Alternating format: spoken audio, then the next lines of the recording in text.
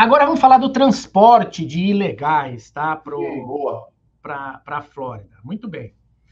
Essa questão do transporte, ela foi prevista inicialmente para o transporte de ilegais de fora da Flórida para dentro da Flórida e transporte de ilegais aqui dentro da Flórida. Quer dizer, eu vou à igreja do Paulo, alguém me pede carona e eu transporto essa pessoa. Se essa pessoa uh, tiver entrado sem licença no país, né, sem ser inspecionada, eu uhum. estaria sendo um criminoso por fazer isso, tá?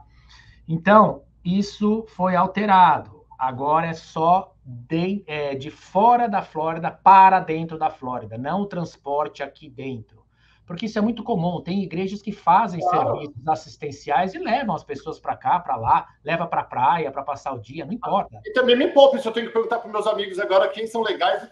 Ninguém gosta de falar sobre isso. E agora eu tenho que perguntar, doutor Walter Santos, ah, vamos dar uma volta, mas deixa eu ver seus documentos, por favor, porque senão eu não posso colocar você no meu carro.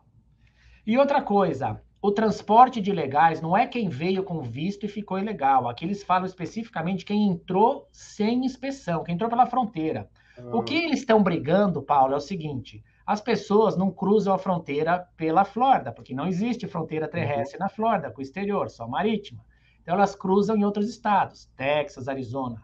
E lá algumas instituições assistenciais transportavam elas aqui para a Flórida e uhum. jogavam aqui, dentro da Flórida. Então o governo não quer mais que isso aconteça. Teve até um episódio que o governo comprou aí, pagou voos para levarem para outros estados, sei lá, Nova York, para Massachusetts e tudo mais. Então, transportar alguém de, que esteja, que tenha entrado no país sem inspeção pela fronteira, transportar de outro estado para dentro da Flórida passou a ser crime. Então não pode. Dentro da Flórida deixou de ser crime. Não há restrição nenhuma a fazer esse transporte.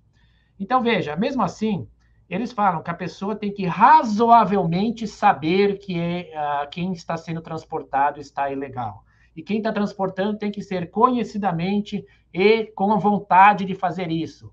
E também é relativo, porque às vezes você é terceirizado, você tem um motorista contratado para pegar o ônibus, você vai transportar pessoas de tal lugar a tal lugar. E o Uber agora? O Uber, táxi, ônibus, vai ter que perguntar? Se tá pois é.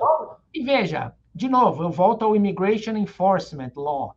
Você não pode o Estado querer cumprir a lei migratória, é, é executar a lei migratória. Isso é tarefa do, do governo federal. Você vai no Starbucks, eu quero um café expresso duplo. Aí você vai perguntar para o caixa qual é o status migratório. Você não pergunta. Você não pergunta. Eu pergunto aqui, como é que vocês vieram aqui? Como é que vocês estão aqui? Porque eles estão fazendo uma consulta no bojo de um processo migratório eventual, saber como funciona a lei, os riscos que eu estou correndo, o que eu tenho que fazer, o que eu não posso fazer.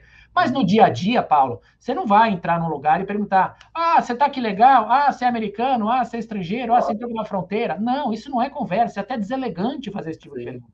Então não tem como você saber se a pessoa está ou não. Agora, óbvio, se o ônibus está parado a 30 milhas da fronteira, aí chega um monte de gente com sacola carregada, cansado, meio suado, põe no ônibus e fala, agora você vai levar isso para a Flórida. Pum.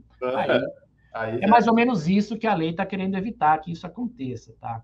E é considerado um crime por indivíduo transportado. Quer dizer, se o ônibus tiver com 50 pessoas, são 50 crimes. O que é esquisito, né? Porque é que nem o ladrão roubar 100 dólares e ele sofreu uma punição para cada dólar, né?